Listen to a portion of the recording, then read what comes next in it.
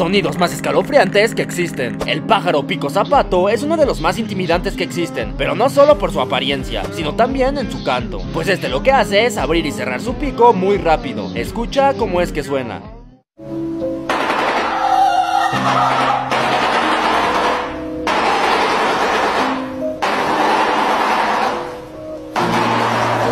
Pájaro lira es un animal que puede imitar muchos sonidos, algunos muy escalofriantes. Escucha este canto que hace que parece el llanto de un bebé.